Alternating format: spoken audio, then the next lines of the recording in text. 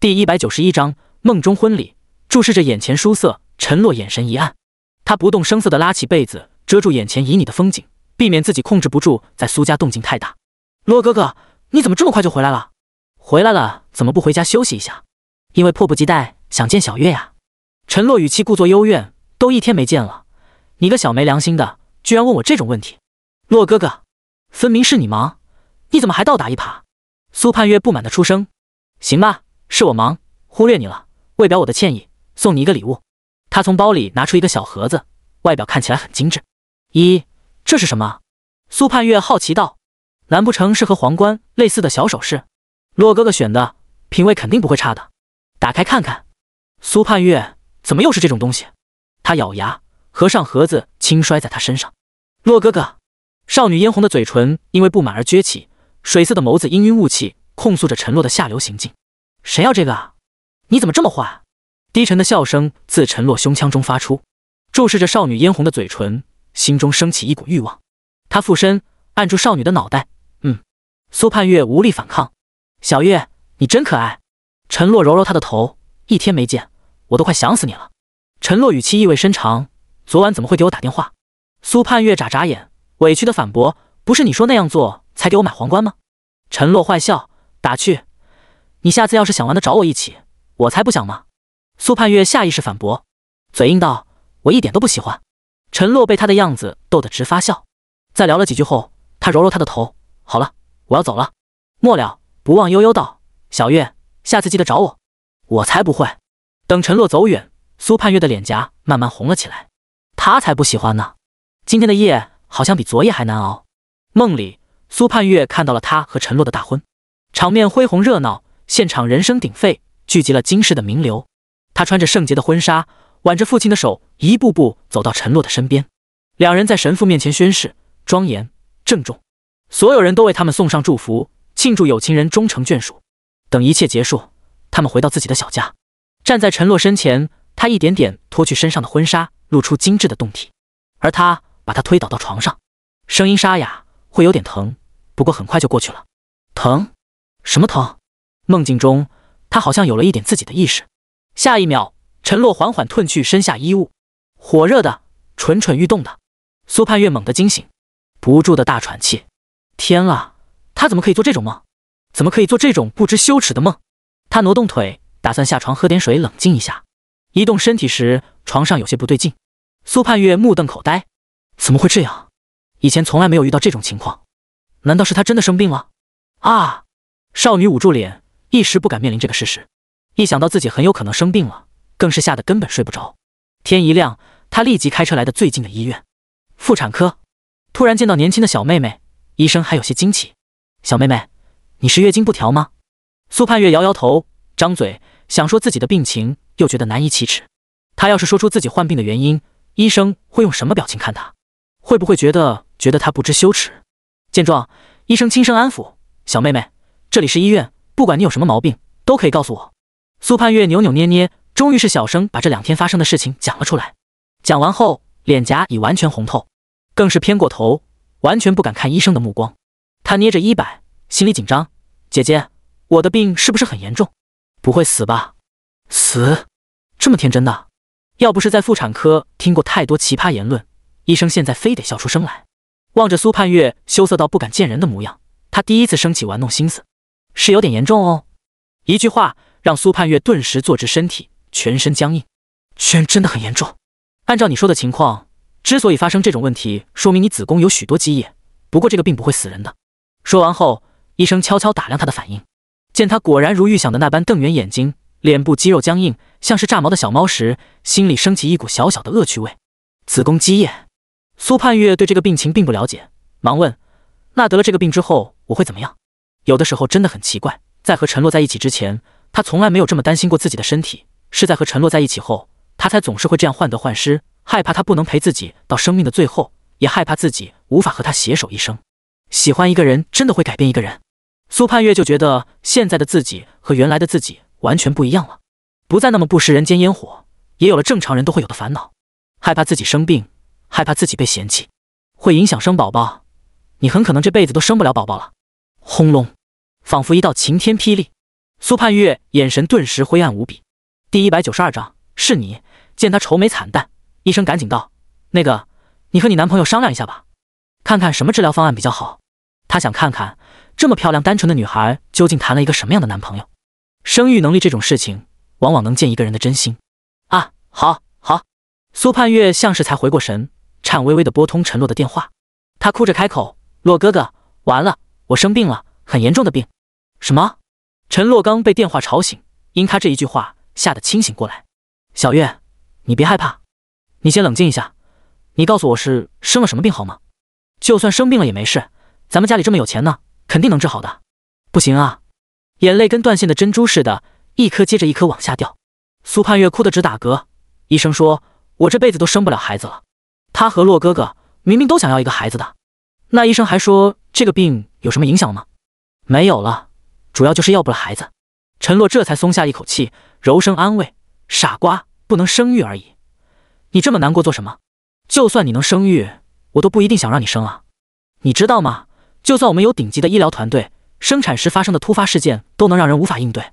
对于孩子，他内心当然是想要一个，可通过各种途径了解到生育要面临的各种事情后，就很少在盼月提起生孩子这种事情。无他，实在是太危险。万万没想到陈洛的回答会是这样，苏盼月难以置信的瞪大眼，可。可你讲过以后，我们最好有一个孩子啊，那是多久之前的事情了？亏你还记得住。手机那边响起布料摩擦的声音，应该是陈洛正在穿衣服。声音突然停了一下，紧接着陈洛无比认真的声音从电话里传出：“小月，我想和你在一起，有没有孩子根本无所谓。如果那个人不是你，我也根本不会升起一点要孩子的欲望。如此，你能懂吗？”咚咚咚，是心跳的声音。苏盼月捂住胸腔，感受着汹涌的跳动。泪水接着滚动，半晌，所有情绪化作一句：“洛哥哥，我爱你。”小月，我也爱你。我现在就来医院找你。医生，哪怕隔着手机，他都能明显感受到对面男孩子语气的认真，真挚动人，充满真情。他张张嘴，神情一时间染上落寞。你这个不会下蛋的母鸡！我妈叫我和你离婚。脑海里突然想起前夫离婚时对他说的话。刚刚他骗面前的小妹妹，以后生不了孩子。实际上，真正没有生育能力的是她，天生卵巢发育不良，产不出标准质量的卵子，就算能怀上，也无法在子宫平安长大，在前期会早早流产。她的前夫，那个在结婚时信誓旦旦说爱她，愿意拿一辈子呵护她的男人，在她查出这个病之后，态度一落千丈。前后不过一个月，做遍检查，确认她无法生育后，就和她匆匆离婚，甚至离婚当天还要把她骂一顿。姐姐，姐姐，少女的声音把她拉回现实。苏盼月神态紧张，这个病真的没办法治疗吗？我家里有钱，多少钱都愿意支付的。医生摇摇头，神色愧疚。妹妹，我可能得和你说一声对不起。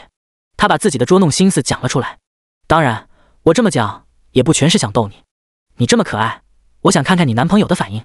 如果他因此嫌弃你，你也可以早日寻一个更好的男友。医生眉眼真诚，因为自己受到过伤害，不想让别的女孩子也受到这样的伤害。至于床单被打湿，也不是因为子宫积液，这只是因为你是一个正常的女人，有正常的欲望。你晚上是在做春梦吧？有欲望的话，要找到你男朋友帮你及时疏解哦。啊！少女睫毛湿润，还挂着明显的泪珠，她胡乱擦擦眼角，那些悲伤情绪一扫而空，有些愤怒她的捉弄。不过想到陈洛的态度，那股怒气又熄灭掉。罢了，好歹见到了洛哥哥的真心。洛哥哥看着手机正在通话的页面。苏盼月手忙脚乱地摁上挂机键。小月，你梦里陈洛话还没讲完，声音就被隔绝掉。苏盼月觉得没脸见人，他怎么会是因为做春梦而导致自己流那么多水的？他的身体怎么这么饥渴？小妹妹，其实这只是很正常的生理现象，只要是人就会有这方面的欲望，你不必羞涩。对了，你要是实在想要，可以和你男朋友提一提，他那么喜欢你，肯定也会满足你。啊，好。苏盼月再也不想待下去。提起包，匆忙走出科室，楼梯拐角遇见气喘吁吁的陈洛，知道他生病的事情，他一路飙车赶过来。虽然结果是虚惊一场，但内容还是让他好奇的。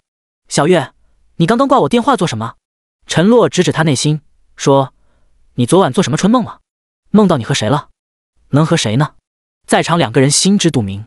苏盼月双手疯狂颤抖，眼神飘忽，不断往四周乱看。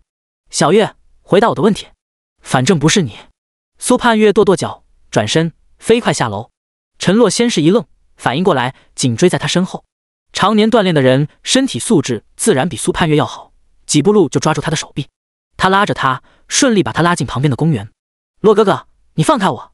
苏盼月双手握成拳头，捶打他胸口，轻飘飘的力度和挠痒痒没差别，反而挠得陈洛愈发心痒。他伸出一只大手，稳稳钳制住他的两个手腕，轻轻一拉，提过头顶，另一只手再次按住他的后脑勺，在他口腔中长驱直入。这次的吻比昨日激烈许多。苏盼月只觉得自己被索取走了全部空气，无助的抵抗，却又只能承受他的掠夺。等他好不容易停住，他已经是喘不过气。小月，你做春梦的时候，脑海里的男人到底是谁？苏盼月转头，咬唇不言。不讲的话，我就再来一次了。别！苏盼月连忙把手抵在胸口。是你。第一百九十三章。可是我愿意啊！因为喘气，胸腔不住的颤抖。光天化日之下，苏盼月怕他兽性大发，在他怀里不安的扭动。洛哥哥，不要了！饱满的身体在他眼前不断晃动，几乎蹭上他的手臂。感受到那处柔软，他怎么可能还忍得住？大手揽上他的背，感受蝴蝶骨在他手心中颤动。紧接着，他三两下就拨开外面的外套，露出紧身白色打底衫。完美的身材找不出一丝缺陷，明明打底衫把该遮的地方都遮住了，却因为紧身更显得极致诱惑。陈洛目光幽深，蠢蠢欲动。哎呦，你们孤男寡女两个个人在这地方做什么呢？妇女的惊呼声打断陈洛的动作。手臂处挂着居委会袖章的大妈恨不得自戳双目，愤愤出声：“这里可是公众场合，你们在这里搂搂抱抱，成何体统？还在这里亲嘴，真是没眼看，口水都要亲出来了。”见陈洛身材高大。富有力气，他不敢冲他骂，转头看向苏盼月，开始说教：“小姑娘，你是一个女孩子，总不能叫男朋友这么亲来亲去的吧？让别人知道，还以为你家教不好嘞。”啊！苏盼月一愣，确实，一时间他难堪的垂着头。陈洛看不过去，那结婚的是不是就可以随便亲嘴了？啊！居委会大妈一愣，难不成你们结婚了？是啊，我们都已经结婚了。陈洛揽着苏盼月的肩膀。我亲我老婆总没关系吧？一番话掷地有声，苏盼月忍不住偷偷瞟他，见陈洛神色震惊，心里一暖，那那是没问题了。大妈摸摸鼻子，尴尬离场。等他走远，陈洛才揉揉他的肩：“小月，别把他的话放在心上，我们还知道找个公园遮挡一下，已经很有素质了。”苏盼月扑哧一声笑了出来：“洛哥哥，你今天在电话里说的话是真的吗？”嗯。想到自己在电话中真情流露的那些话语，陈洛难得的有些羞耻。当然是真的，之前一直没有深入谈过这个问题，所以没讲出来而已。他撩起少女耳畔的碎发，虽然今天的事情只是一场恶作剧，但我向你保证，婚后一定尊重你的意愿。你要是不想生孩子，那我们就不生。那谁来继承你的家业呢？伯父伯母会允许吗？这个嘛，陈洛嘿嘿一笑，我赚钱不就是为了让你花吗？至于父母，到时候我告诉他们我不能生不就好了。他们肯定怕你这个儿媳妇跑掉，一个劲哄着你呢。苏盼月心里暖烘烘的，不由自主抱住了身前的男人。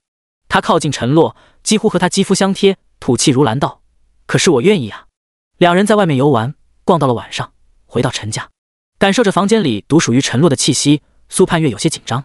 自从酒店那一晚，看见洛哥哥就有点腿软。陈洛拿出玩具：“小月要试试吗？你怎么还有这个？”看见陈洛手里的东西。苏盼月止不住的往后退，买都买了，当然多买几个，避免其他的坏了。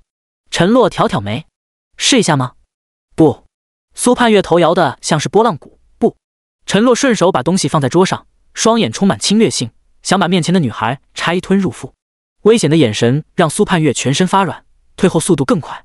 他一步步走近，长臂一揽，把纤细的腰肢禁锢在怀中，嗓音充满蛊惑味道：“真的不要？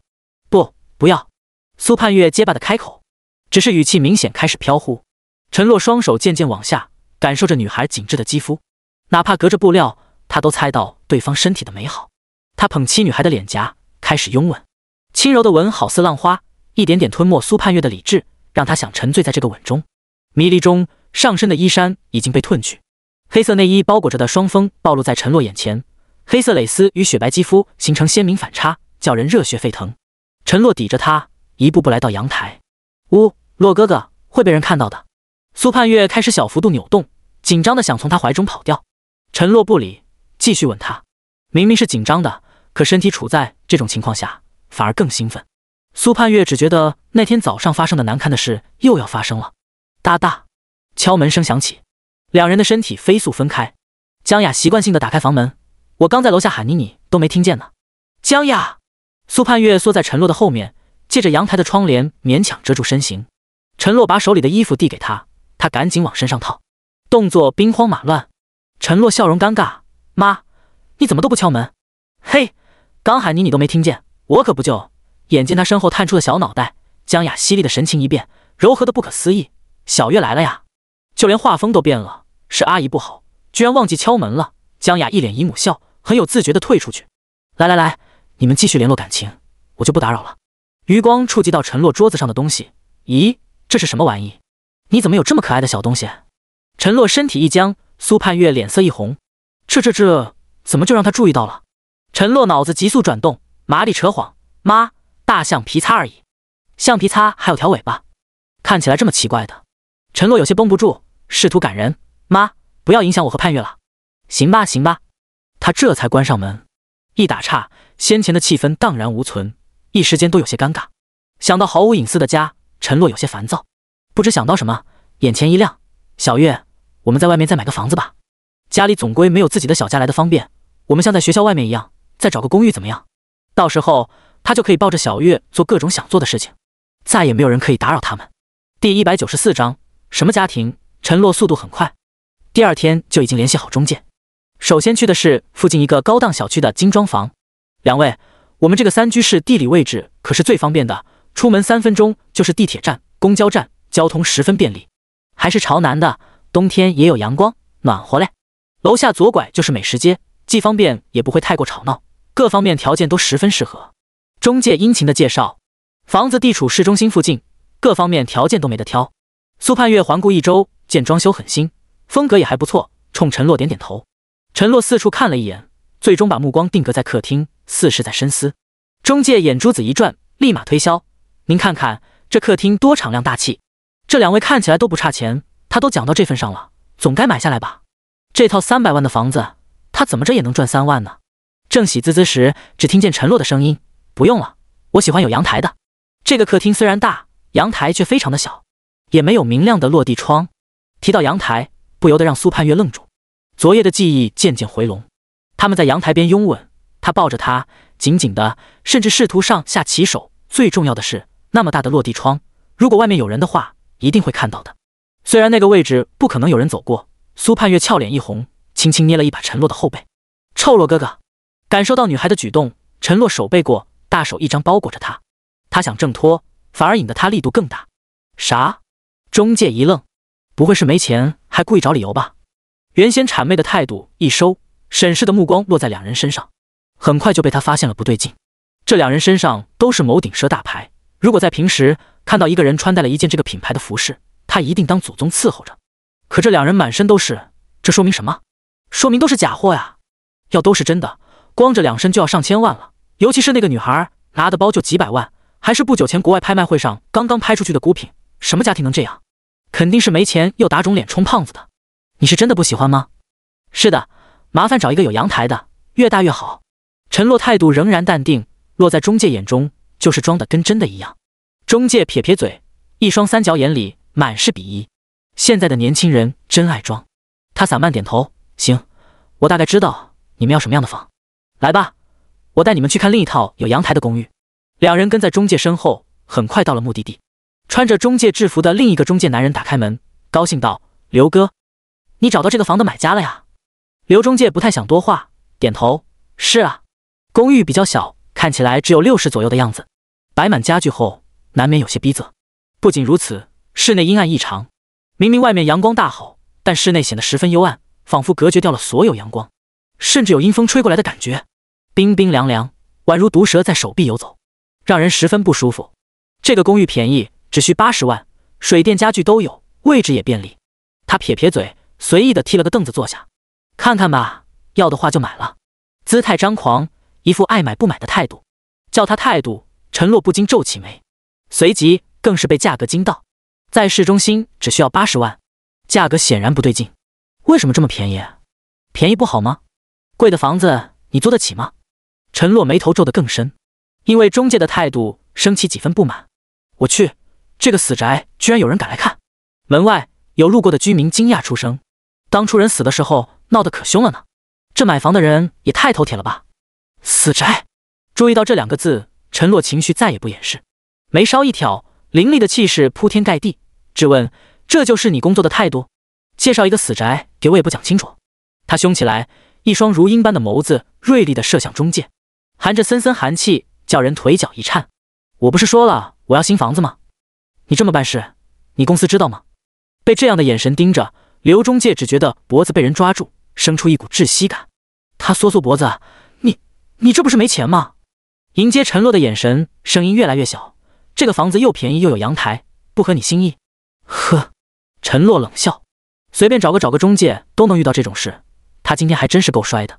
陈洛牵着苏盼月，冷冷看了他一眼，转身就走。不是，两位别生气。刚刚开门的小中介赶紧凑上来，你们之间就是不是有误会？刘哥，你怎么能乱介绍呢？快道歉！我别这样。刘哥色厉内荏，你这个蠢货，他们看起来就没钱，我就算给他们认真找房，又能怎么样？刘哥，小中介急得都快哭了，在客户面前这么讲话，他们还怎么做生意？哼！这个客户你爱咋咋地，反正我是不管了。说完，男人直接走了出去。年轻男人深呼吸一口气，平复心情，歉意的看着陈洛两人。不好意思，我这位同事脾气不太好。他讨好的笑着。你们二位对看房有什么要求？我也可以为你们找房。所谓伸手不打笑脸人，看着对方神色真诚，陈洛原本积攒的怒气也被压制下去。各方面的环境都要好，隔音要好，来往人流最好有限制，不要鱼龙混杂。对了。一定要阳台，钱不是问题，钱不是问题，这几个字霸气侧漏。小中介细细打量了陈洛两眼，明明长相帅气，气质也是一顶一的出众，看起来确实不像没钱啊。他那个眼高于肩的同事真的没看走眼吗？陈洛说完愣了愣，这样的地方他自己不就知道一处吗？带我们去天元路的锦香别墅区看看。锦香别墅区位于城东锦香旅游山区附近，环境优良，空气清新。距离市区又近，占据位置，环境各种优势。同样的，价格也特别的贵，一套小别墅的价格就要两千万的那张。小中介愣了愣，这个少年能拿出这么多钱吗？见陈洛气势淡淡，他不好阻拦，便点头。好，我这就安排。门外偷偷蹲在门口听动静的刘中介看乐了。小王，你是想开单想疯了吧？这人看起来像是有钱的样子吗？你居然敢带他去别墅区？有这时间，你还不如去看看能不能认识两个大款。难怪你到现在都没卖出几个房子。嘲讽的语气丝毫没有把几人放在眼里。刘哥，话不能这么说。王中介拧眉，较真道：“我们的职业不就是要带人看房吗？这只是我们的分内工作。”第一百九十五章新房。门外，刘中介的吵闹声实在太烦人。陈洛还没说什么，小王中介倒是先开口：“刘哥，这是我们的工作，你不要这么恶意揣测客户。”他真诚地看向陈洛两人，锦香别墅区是吧？我这就带你们去看，反正都是工作。他之前带着那么多看起来有钱的客户看房，结果对方还不是什么都没买。带他们看房也只是花点时间的问题。别墅区确实如传言一般，风景秀丽，树木郁郁葱葱，高大茂密，隔绝掉浑浊的空气，使空气变得沁人心脾。内部房屋布局错落有致，距离比较大，也不怕没有隐私感。这个别墅区是去年才开售的。现在大半都已经卖出去，只有十几套是空置。我带你们都看看吧。小王笑笑，在前方开车，按照距离最先到的一处三层别墅，欧式古典风格，风格梦幻，纯白的墙面干净利落，底下小院子长着些浅红色野花，围着的白色木质栅栏增添几分浪漫气息，优雅精致。这套房子是距离门口最近的，它面积很大，有三百平，绿地面积有六十平左右，很适合种漂亮点的花草。不过价格不菲。三千万呢？一般别墅的绿地面积在三十至五十平左右，六十平的绿地面积已经偏大，价格也会上升一些的同时，也会显得华而不实，让人购买欲望没那么强。能种花草，苏盼月眼睛亮了。一个漂亮的花园对女孩子来说可是莫大的吸引力。见状，中介不禁提议：“不如进去看看。”好。别墅内部装修走清新风格，橘黄色的墙纸十分温馨，米白色可移动沙发在落地窗一侧。上面铺着亚麻色沙发布，沙发前纯白的椭圆茶几上摆着一盆浅粉色小花，增添几分色彩。装修简洁明亮。苏盼月走到落地窗边，见窗外流水潺潺，清丽透明，神色激动。洛哥哥，这里距离江边好近。嗯，看起来确实不错。能不错吗？卖五千万呢。中介心里小小腹诽。那么多人都看过这个别墅，最终都没卖出去，可不就是因为太贵了？虽然他对陈洛两人没什么偏见，同样也没多大期待。他提议，我们去看看别的别墅吧。还有比这里视线更好的地方吗？嗯，这个可能没有了。这是这片最大最好看的，那就他吧。陈洛随手掏出银行卡，有合同吗？中介愣了三秒，可他五千万呢。陈洛疑惑，很多吗？多吗？普通人穷极几生都不一定赚得到的钱，对他来说只是洒洒水。王杰嘴唇颤抖，压抑着激动，双手哆嗦的从包里拿出合同。有，有的，有的。回到公司，王杰整个人仍然是飘飘的，眼前的世界大变样子。原本无趣的生活多了许多色彩，生活美丽的不可思议。售楼部虽然处于下班时间，大家也并没有松懈。有人正在给意向客户打电话推销房屋，有人收拾好东西出去陪客户看房，也有人正因为卖出房而高兴万分。没有忙工作的人几乎都围在一个年轻女人身边，嘴里动听的话络绎不谈。还得是罗姐厉害，随随便便又谈成了一个别墅。是啊是啊，我们这些新人还得向你多学习。像我们罗姐，人漂亮。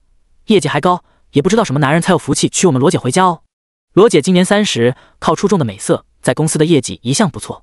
眼下听着他人的恭维，更是觉得神清气爽。余光不经意瞟到愣神的王杰坐在位置上，也不来对他说一声恭喜，当即冷哼一声。他做出指点模样：“小王啊，我听刘哥说，你今天非得带两个看穷酸的客户去看别墅趋势吗？不是我说你，你一个月才完成多少业绩，居然花时间浪费在那些穷鬼身上。”就你这样，怎么可能赚得到钱哦？语气尽是奚落，其他人跟着帮腔。是啊，小王，罗姐说你还不快听着，快过来谢谢罗姐。小王神色淡淡，是是该谢谢罗姐提点。不过今天的客户不是穷鬼，他们有买房，人家可是动动手就赚了五千万呢。过程中连眉头都没皱一下，说明这五千只是一点小钱，实际身家肯定几十个亿不止。闻言，所有人都笑出声。难不成他还买房了？买了什么房啊？最后不会去把刘哥手底下那个死宅给买了吧？不是的，王杰大声打断，是最大的那个八号别墅。今天的客户已经把它买下来了，各种文件都已经签好，钱也到账了。一时间，所有人都安静下来。八号别墅如他的名一样，发发发，价格高的让人咂舌。装修大气，面积敞亮，风景秀丽，是不可多得的一处宅子，也是许多人听了价格后就放弃的宅子。眼下，宅子被卖出去了。小王骗人可不是好的行为，就是真卖出去了吗？是真的，不信你们自己看看交易中心。其中最不可置信的就是罗姐，她靠着美色和那么多恶心的客户周旋，才能勉强卖出去一些房子。这个小王随便就卖了一套大别墅。他最先打开内部网站，找到八号别墅，看见已售两个字时，脸跟被狠狠扇了一巴掌一样，痛得他晕头转向。小王，一道浑厚的中年男声在几人背后响起，一身西装的男人匆匆走过来。笑得脸部皱纹重叠，酷似菊花。听说你今天为我们公司卖出了八号别墅啊？我就说你看起来机灵聪明，是能成大事的样子。业绩这么好，我让你做主管好不好？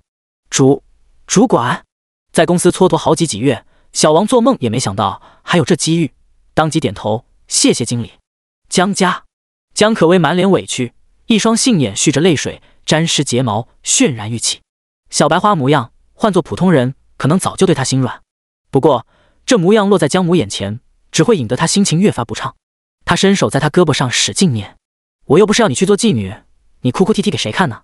叫你当保洁是为了你好，一天五百呢，够你半个月生活费了。江可薇痛哭了，嗓音凄厉，保洁那么丢人，叫别人知道了怎么办？第一百九十六章去做保洁，知道母亲给自己找了一份保洁的兼职，江可薇心碎成一块块渣渣，眼里充满绝望。她都已经沦落到去奶茶店摇奶茶，现在还要去当保洁吗？叫人知道了，她可怎么见人？想到这点，哭声更加凄厉，哭丧一般。江母听得耳朵嗡嗡叫，手在他背上猛掐，力道一点都没控制。闭嘴！江可薇被他掐得嗷嗷叫，慌忙往旁边躲。两人你追我赶，一个怒骂，一个哭嚎。只听江母气急败坏：“我可是你亲妈，我会害你吗？老娘给你找的工作地点可是大别墅，你进去了后。”随便认识两个有钱人不好吗？就算当不了正房，当个二奶，搞他几百万过来，你这辈子就不需要发愁了。江可薇哭着哭着，声音顿时小了许多。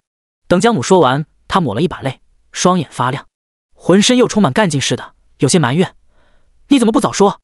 八号别墅，陈洛开车带着安装工人来到这里，后面跟着一个大货车，里面尽是各种摆件和家具。少爷，房子不是刚买吗？用得着这么快就布置吗？管家有些不解。因为我等不及了呀。陈洛轻笑：“你去督促工人移植我买过来的那些玫瑰花吧。”好的，少爷。陈洛带着另外两个工人进门，仔细的吩咐：“那个水墨画摆在客厅，那个花瓶放在进门的玄关，还有一件件事无巨细。对于他和苏盼月的小家，他处处细心，生怕哪一点没做好。等来到二楼的主卧，陈洛指着床上的大片空白区域，把婚纱照挂在那里就好，注意点，别歪了。”两个工人抬着一幅巨大的相框，正是陈洛前几天拍的婚纱照。碧绿的桦树下，男人搂着女孩的腰肢，举止亲密。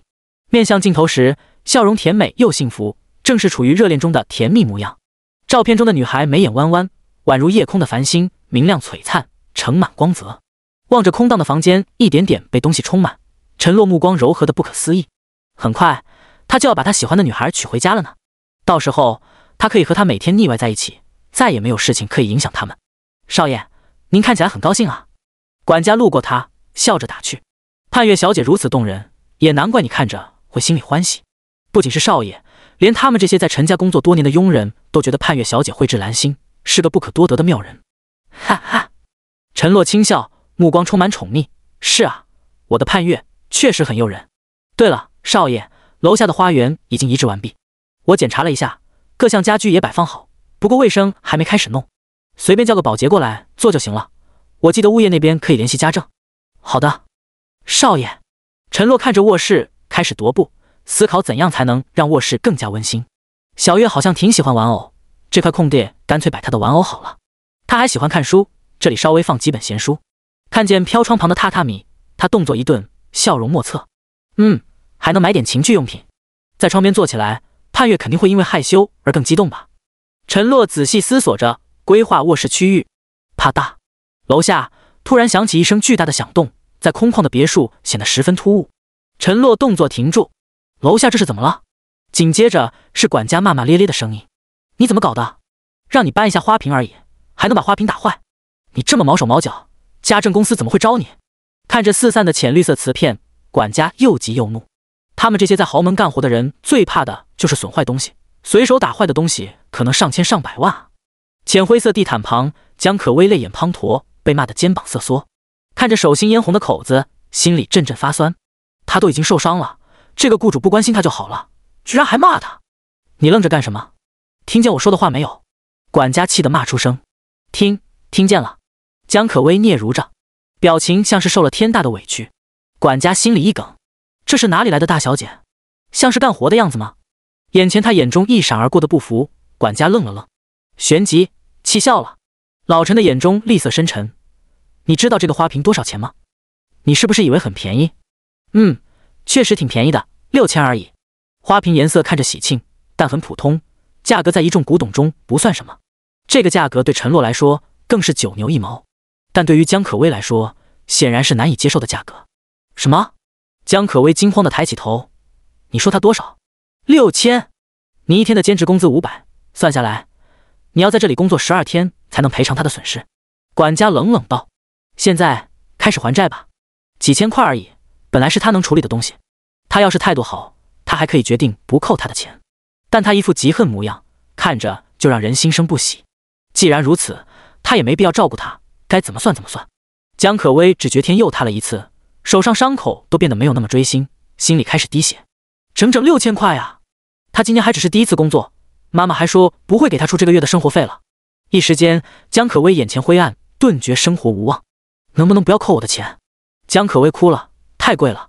他来到到别墅区，有钱人没见着一个，怎么就要倒贴六千块？为什么他这么倒霉？哭哭哭！你以为你是大小姐？我们真正的大小姐都没你这么娇气。周围只有管家的冷言冷语。江可薇心里更加悲凉，对他的恶意感到痛苦难过。自从离开陈洛，再也没有人能够在他失意之际安慰他，在他难受时哄着他，在他缺钱时提供帮助。他真的好想陈洛，如果他在，肯定会替他好好教训这个狗眼看人低的人。一道熟悉的声音打断两人的谈话：“管家，发生什么事情了？”楼梯口，少年探出一脚。第一百九十七章，主人是陈洛。少年静静站在那里，窗外阳光汇聚，在他身后形成淡淡的光晕，给他加上一层朦胧不真切的滤镜。刀削般的脸庞，线条流畅，五官俊美，姿态倜傥。只是那双淡然的眸子，在江可薇的脸庞停留一瞬后，转头时多了明显的厌恶。他看向管家，询问：“发生什么事情了？”陈洛，江可薇愣愣地看着他，先前还在脑海中苦苦思念的人儿，突然出现在自己眼前，他眼眶不由得一热，有种见到熟人的羞耻感。不过他会帮他的吧？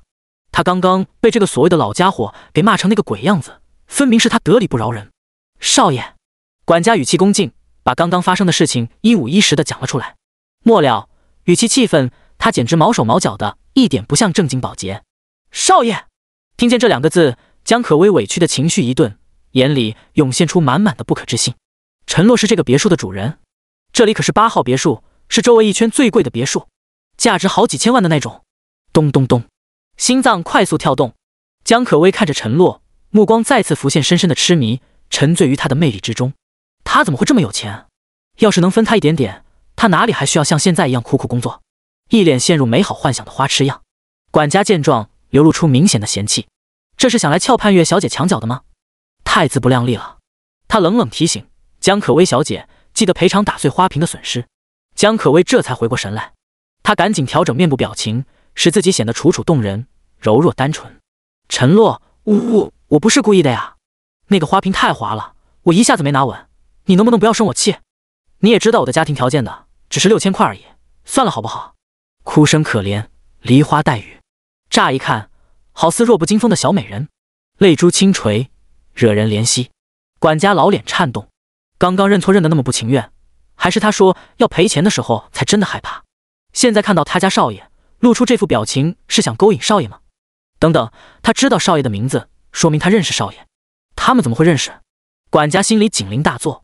幸好陈洛完全怜香惜玉的意思，他不耐烦地皱起眉：“江可薇，你自己犯的错自己承担。”神情是和管家如出一辙的嫌弃。他转过身，不忘提醒：“下次招保洁记得先试用一下。”在他和小月的新家遇到他，可真够晦气，还打乱了他的思绪，更是令人讨厌。好的，少爷。保洁，简单两个字，像是一团针，把江可薇心里扎得千疮百孔。在陈洛心里，他就只是一个保洁吗？只是保洁吗？贝齿紧咬，发出嘎吱嘎吱的响声。江可薇胸膛剧烈起伏，不敢相信自己在陈洛心中已经沦落到这般地位。喂，你愣着做什么？你现在还负债六千块呢，不会还想偷懒不干活吧？江可薇的愤怒一收，差点忘了，他还负债六千块。我告诉你，来到这里就收起你那点小心思。我们少爷的未婚妻子，人品好，性格好，模样还一等一的好，不是你这种人可以比的。居然敢在他面前勾引少爷！小小年纪如此不自爱，肯定不是好女人。行了，快干活，厨房的灰都积满了，去擦干净。怕他搞幺蛾子，管家几乎是跟在他身边监督他干活。江可薇想偷懒都没机会，在他监督下，别说找机会同陈洛说说话了，累得连乱想的机会都没有。一直到去二楼打扫卫生时，管家才因为上厕所走开。终于能偷懒，江可薇累得大喘气，神色阴沉的能滴水。扫地声音哗啦哗啦响。把地板当成管家的脸，狠狠的摩擦。要是陈洛还喜欢我，我非得把你赶出去。江可薇恶狠狠的嘀咕：“叫你个老东西，流落街头，被人践踏。”由于太过气愤，扫到床头柜时没注意看，被尖锐的柜角狠狠磕到。哦！江可薇痛得叫出声，眼睛直飙泪。操！连个桌柜子和我作对是不是？她被气哭了。抬头时，哭声戛然而止，一双眼以肉眼可见的速度快速被极度填满，而墙面的照片里。蓝天绿树，青年男女相互依偎，举止亲密，一个笑靥如花，一个宠溺深情，谁看到了都要说一句般配。最重要的是，一个穿着婚纱，一个穿着西装，放在床头，说明这是婚纱照。陈洛和苏盼月要结婚了，这个消息一下子让江可薇大脑炸开，浑身哆嗦。不，不可能！他喃喃自语，他连陈洛的手指都没碰到呢。江可薇的表情开始扭曲。恶意从内心深处冒出来，瞬间充斥整个内心。他们要结婚了，陈洛明明是他的，只是被他暂时搞丢了而已。按照少女言情的套路，陈洛应该回到他的怀抱。都怪苏盼月抢走了他的陈洛，鬼使神差的，他举起手中的扫把棍子，使其正对上相片中苏盼月的脸庞。只要他稍微用力，就可以不用看见这张让他嫉妒到发狂的脸。正当他蓄力时，一道冷声打断他的动作：“江可薇，你在做什么？”管家迈着一双老腿麻利的走过来：“你拿棍子对着他做什么？你知不知道这是琉璃相框，很容易坏的？”江可薇恶毒的脸色生生卡住，脸部肌肉呈现僵硬状态，模样十分滑稽。半晌，他干巴巴道：“我我没想做什么，他只是想戳花苏盼月那张笑脸。”管家对着相框左看看右看看，确保没有问题才放松下来。他冷冷道：“你知道这个相框多少钱吗？五百万，是古欧洲的皇室用品，镶的边都是纯金的，保存了几百年。你要是打坏了，把你卖了都赔不起。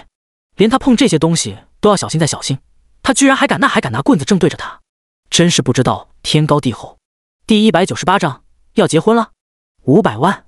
江可薇先是一怔，随即。被这个价格惊得倒吸一口凉气，在听见卖了他都赔不起几个字的时候，眼底浮现出深深的不甘和难堪。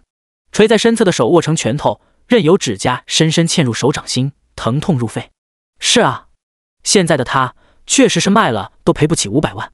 明明以前陈洛维在他身边的时候，别说五百万，就是五千万，他都不一定放在眼里。现在，哼，被一个老匹夫欺负，你还愣着做什么？管家没好气的把扫把往他身上对，扫地啊，不扫地，等着我拿扫把扫你的脸。你是来干活的，不是来当大小姐的。江可薇掩住眼底深沉恨意，屈辱的接过扫把。等地上的卫生被打扫干净时，他瓮声瓮气开口：“又要做什么？去擦相框？你看不到上面的灰尘吗？相框平时保养得当，但运输过程中难免沾上一些灰，看起来不够干净。他家少爷可是爱干净的的人，不能被这个相框影响。叫他去擦相框。”江可薇愣了愣，这回倒不是嫌累，而是望着婚纱照上笑容美满的女孩，她内心各种情绪根本压制不住。凭什么她过得这么幸福，而她过得这么惨呢？江可薇麻木地接好一盆清水，把抹布放在里面打湿，拧干后再拿着湿抹布踩着凳子一点点擦拭。站在仪器上，她与苏盼月的脸颊达到几厘米的距离，近距离观看才发现照片中的女孩美到不可思议。亚洲女孩对脸时本就会更显得五官立体精致。何况苏盼月本身颜值就十分出众，纤长睫毛浓郁如蝶翅，十分浓密，鼻梁高挺，嘴唇、脸颊、眉毛无一不完美。尤其是处在陈洛身旁时，本身高冷的气质淡了许多，双眸尽是爱意，美好的像是画中人。她怎么可以这么好看？江可薇深呼吸，抑制情绪，生怕自己控制不住，一拳砸过去。五百万的价格足够她把各种阴暗龌龊的的心思压下去，不爆发出来。管家坐在一边监督干活。见他一脸不满和扭曲，更是坚定内心想法。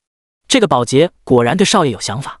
现在的女生真是知人知面不知心，明明少爷都有女朋友了，还这么不要脸。等江可薇忙完，立即被管家带到楼下的花园。后方的庭院里，白色栅栏围成一圈，上面攀附着野生牵牛花，有股欧洲田园风光。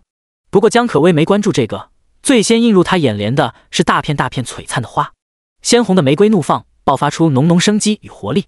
此外，还有娇艳的粉佳人，淡黄清雅的冷美人，小小的花园，各种花朵争奇斗艳，美不胜收。唯一的不足可能就是鲜花有些蔫吧，看起来像是移植过程缺水引起，去把地下室的化肥拿过来给他们施肥。哦，施肥。江可薇不情不愿的拿着钥匙去地下室，回来时双手空空，捂着嘴，发出阵阵干呕声。这是什么味道啊？太难闻了。他惊恐的拍着身上的衣袖，一脸后怕。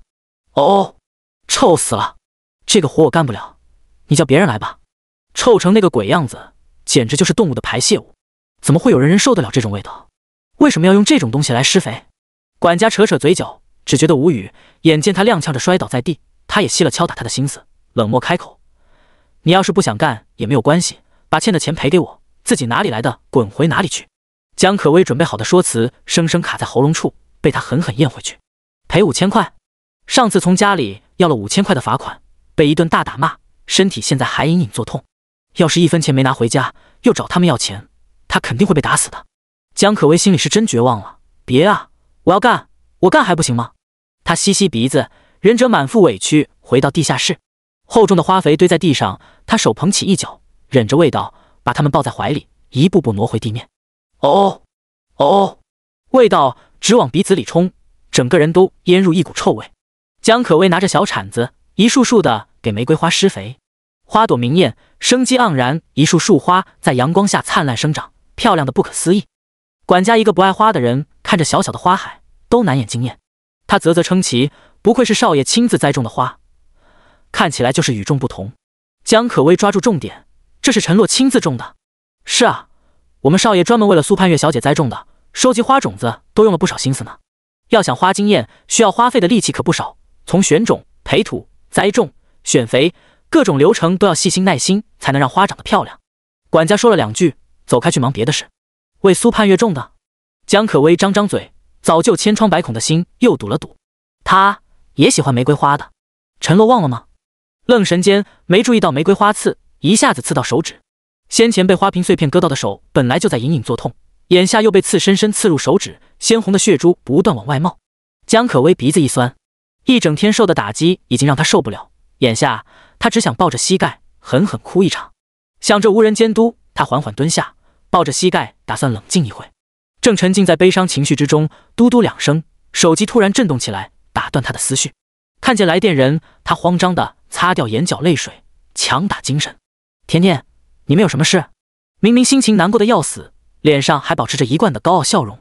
甜甜撇撇嘴，十分看不惯江可薇的装腔作势。喂。我们宿舍的钥匙在哪里？在毯子下面。哦，正想挂断电话，余光注意到江可薇身后大片的花海，甜甜眼里浮现出惊艳。你，你后面是什么？啊！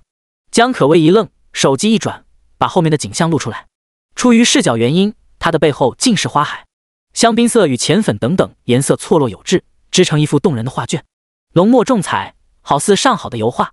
第一百九十九章：玫瑰花海，玫瑰花。江可薇转身看了一眼身后的玫瑰花海，抿抿唇，心里有些不爽。她正在当保姆，处理这些祖宗式的破花泥，让她怎么回答？说她正在当保洁，这是雇主家里的花吗？她怎么可能会说？见他不说话，甜甜有些着急。这是哪里的景点？把地址发给我好吗？我想来打卡。打卡？什么打卡？闻言，其他室友也看了过来。看到视频中的玫瑰花海，几人张大嘴，露出同款惊艳表情。我去。江可薇，你这是去哪里了？太漂亮了，和我幻想中的花海简直一模一样。几人眼中的羡慕丝毫不加掩饰，望着这种眼神，江可薇默了一瞬。自从网贷事情被揭穿，他已经很久没见到这种表情，再次见到，久违的幸福感再次涌上心头。他下意识道：“这是我男朋友给我准备的。”一言出，甜甜几个眼中的震惊、嫉妒更加明显，显然没想到真相是这样。江可危机不可察的弯弯唇。一股诡异的满足感从心中涌起，让他遍体舒畅。虽然玫瑰花海不是给他的，但是能让其他人羡慕，他就觉得畅快。甜甜牙酸，干巴巴的开口：“你男朋友对你可真好。”心里跟吃了溜溜梅一样酸滋滋的。江可薇怎么会找到这么有钱的男朋友？江可薇心中的满足感越盛，表面故作矜持：“一般吧，我觉得这些玫瑰花品质一般般，还没有我前男朋友带我去意大利度假时见到的花海好看。”几人眼里的羡慕妒忌之色更多，是吗？真好。挂断视频后，江可薇嫌不够，站在花丛前方拍了一张自拍照。稍加美颜后，暗淡的肤色变得白里透红，大大的杏眼含情脉脉，脸部削小，整个人颜值上升一圈。他打开微信的朋友圈，选定可看范围为几个室友后，把照片发在朋友圈中。附文：男朋友非要给我准备这片玫瑰花，哎，再好看也就是那样了。要是有姐妹喜欢的话，都可以来玩呀。因为还要干活，他匆匆关掉手机，并没有注意到自己不小心打开定位。金大宿舍看到定位的三人，下意识在网上搜索一下锦香别墅区零零八号。第一条搜索结果就是广告，上面显示着别墅的价格五千万。三人发出同款尖叫声：“操！江可薇这回是真钓到金龟婿了！妈呀，五千万！她这次谈的男朋友怎么像陈老师一样有钱啊？”想到有人正在对她羡慕嫉妒，江可薇沉浸在满足中。笑容咧到耳后根，干活都没影响他的笑容。你这是想到什么开心的事情了？管家走过来时，看到他晃眼的微笑，稍沉眸，出声打断：“让你做的事情做好没有？施肥施完了吗？”江可薇喜色一收，恭敬道：“已经干好了。”老匹夫，我笑一笑，还碍着你了？那你去打扫地下室，别在这里碍眼。哦。别墅大门口，陈洛打开副驾驶门，大手放在车顶下，避免苏盼月不小心磕到额头。小月。我给你准备了一份惊喜，你一定会喜欢的。两人携手来到后院的花园，目之所及全是绽放的玫瑰，红的热烈，黄的富雅，蓝的奇特，色彩之浓郁，香味之扑鼻，叫人心神一震。苏盼月呆呆地望着眼前的花海，他是喜欢花的，不然也不会在听到别墅绿地面积大的时候会更感兴趣。可他不知道，陈洛给他准备了一处精致的玫瑰花海，朦胧的朱迪、安迪娜、绿光。苏盼月走进花丛中，看着一朵又一朵的玫瑰花，叫出它们的品种名，都是在玫瑰花里颇负盛名的品种。见女孩一脸欣喜，陈洛目光柔和，谦虚道：“都是我随便种的，也不知道合不合你心意。”和。苏盼月重重点头。象征爱情的玫瑰花，亲手种植的玫瑰花，灿烂开放的玫瑰花，怎么可能不合他心意？他走回去，一把拦住陈洛的脖颈，踮脚贴唇，熟练的在他唇上落下一吻。呜。陈洛被他的直接弄得一愣，反应过来后搂住他的腰肢，绝美的背景下，两人拥吻，难舍难分，水乳交融。暗处，江可薇蹲在地下室的入口处，因为愤怒和妒忌，全身颤抖。亲？有什么好亲的？简直恶心死个人！他在心里骂骂咧咧，骂着骂着，手里的活还得继续干，不想再给自己找难受。他转身进入地下室，肥料的味道久久不散，在空气中集聚。江可薇走进来，被熏得脸皱成一团。地面是水泥地板，走动时才发现，看着不起眼的地板上铺着厚厚一层灰。嗨嗨！江可薇表情痛苦，拿着大扫把一点点打扫卫生。哦哦，时不时伴随难言的干呕声。等地下室清理完毕，已经到了黄昏时间。江可薇拖着疲惫的身体换下工作服，闻到身上臭味明显淡下时，眼睛一涩。凭什么我就要这么辛苦？因为太累，她没力气继续哭泣发泄不满。按着眉心慢慢走出别墅，江可薇激动的喊声叫他停住脚步。精致打扮一番后的甜甜三人出现在他眼前，每一个都穿着好看的连衣裙，化着全妆，连头发都打理得漂漂亮亮，一个个笑得温柔又热情。你在朋友圈说想来的姐妹可以来，我们现在来了，你不会不欢迎吧？是啊，我还给你发了消息，但你都不回我，还以为今天看不到玫瑰花海了呢。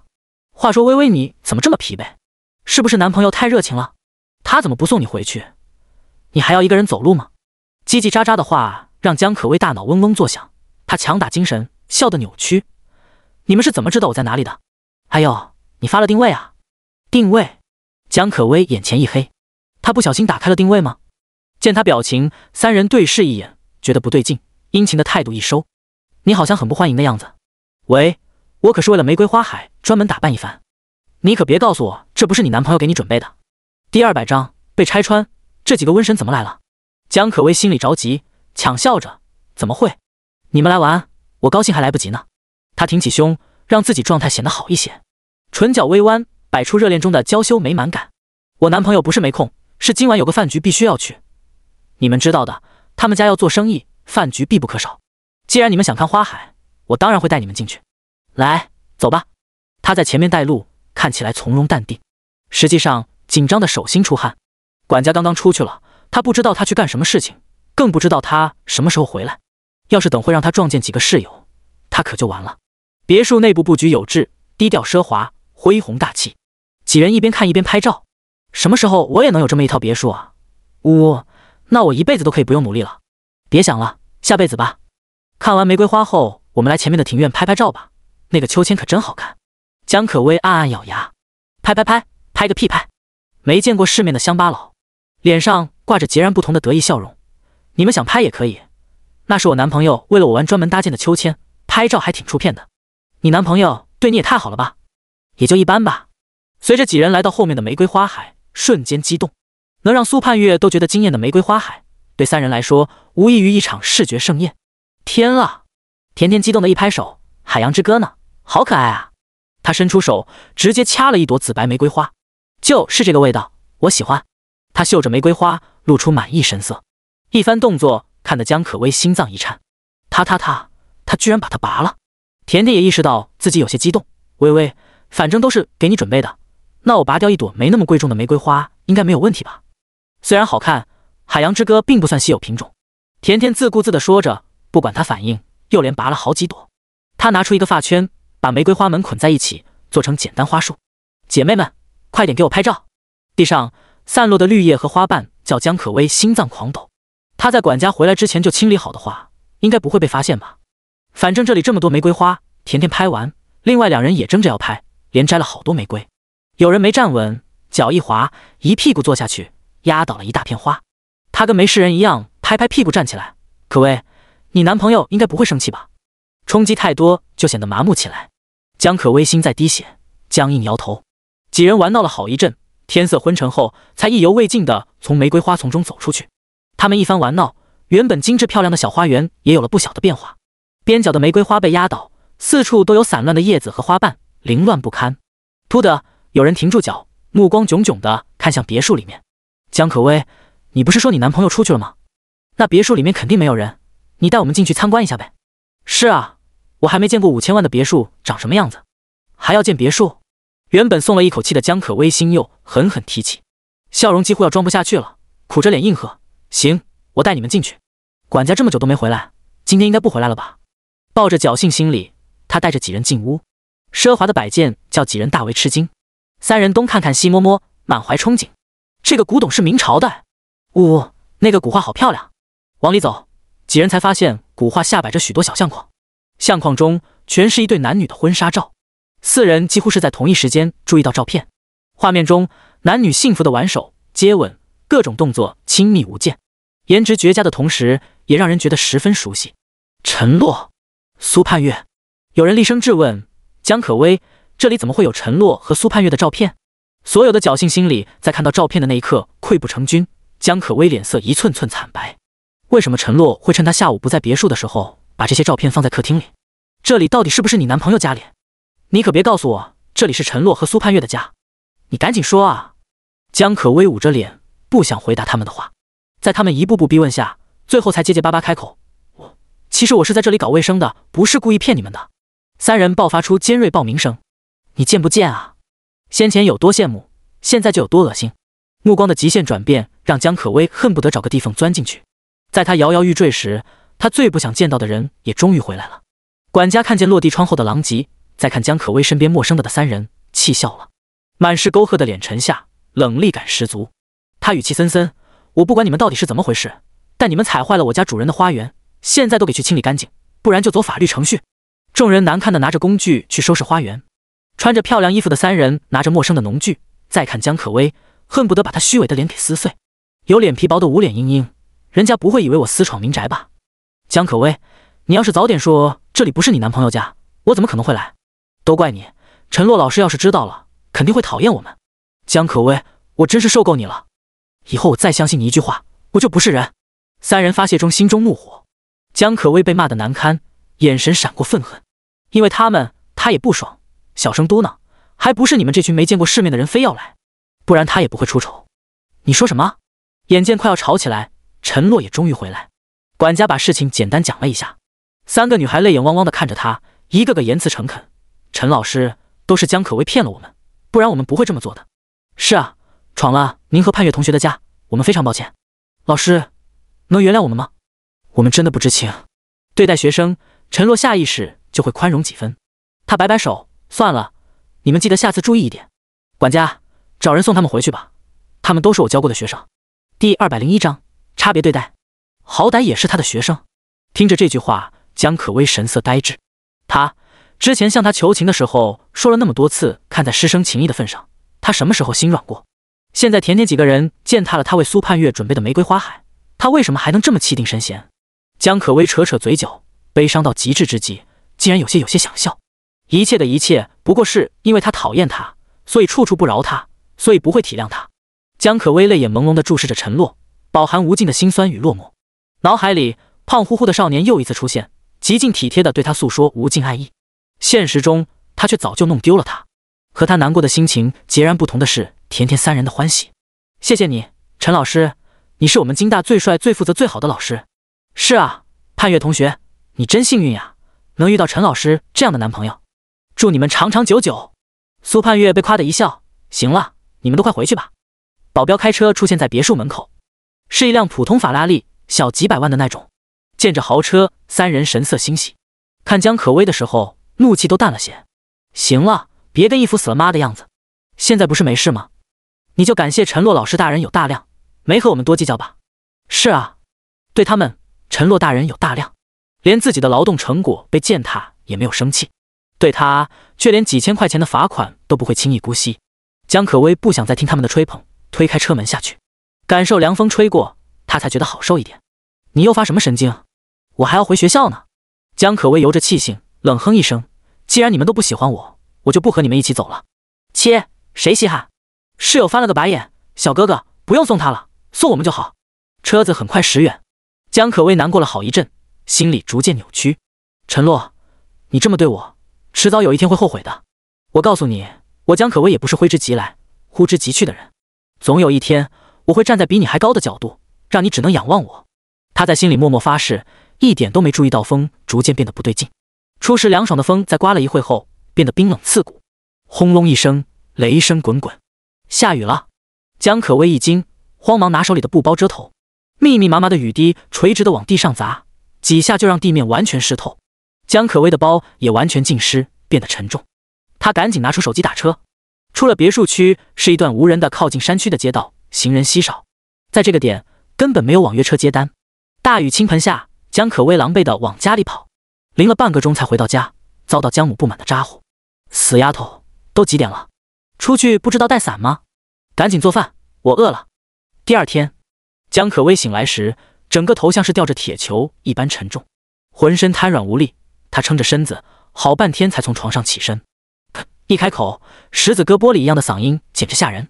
江可薇看向床头柜的小镜子，只见镜中的他脸部红的不成样子，连嘴唇都变得通红。他发烧了。江可薇摸索着找出体温计，看见三十九度的温度后，心里一震，烧到这么高了，还怎么工作？